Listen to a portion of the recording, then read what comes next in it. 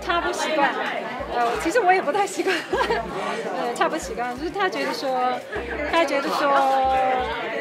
出去工作这么久，就在在干嘛这样子？所以现在呃节目要出去播出去的时候，我第一时间会通知我的女儿，就是你知道我那天呢出去就是做的这一个。你一暑假点安排嘅生活啊？呃，暑假，呃，也就是不用工作时候，我就去当保姆接送咯。那去呃上学啊，跟朋友聚会。啊、小朋友还是不能够老是就是闷在家里。就是还是需要去社交吧。